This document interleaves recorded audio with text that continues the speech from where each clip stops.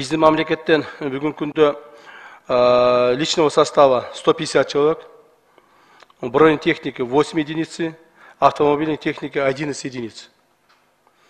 Э, В том числе другие страны, члены ОДКБ, э, направляют э, в Казахстан э, следующие силы и средства. Армения от, 10 от 100 до 300 человек. Принято решение, но они пока отправили 70. Россия 1400, Беларусь 300, Таджикистан 100, уже 200, наверное, Таджикистан, ну, а от 100 до 200. Э, Кыргызстан 150.